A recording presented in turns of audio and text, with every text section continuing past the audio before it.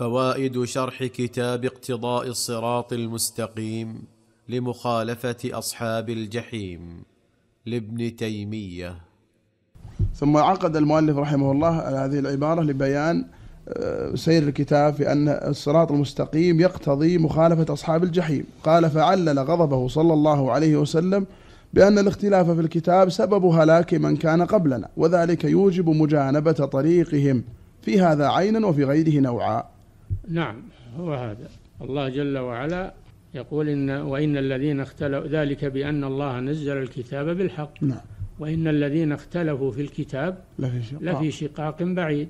ويقول ولا تكونوا كالذين تفرقوا واختلفوا من بعد ما جاءهم البينات وأولئك لهم عذاب عظيم. الله عظيم. فالله حذرنا والرسول صلى الله عليه وسلم حذرنا أن نقع فيما وقع فيه من كان قبلنا من الاختلاف في كتاب الله.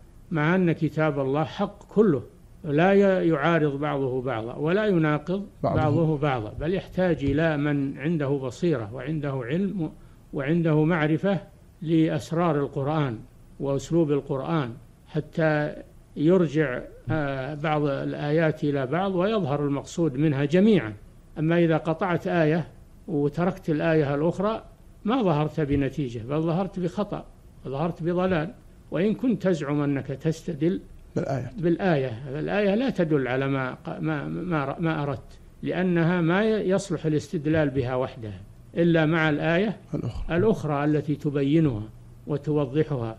والله جل وعلا أحكم هذا القرآن. كتاب أحكمت آياته ثم فصل. ثم فصلت من لدن حكيم خبير. خبير. لا يمكن أن يتعارض كلامه سبحانه وتعالى إلا على من لم يعطى العلم أو أنه صاحب هوى.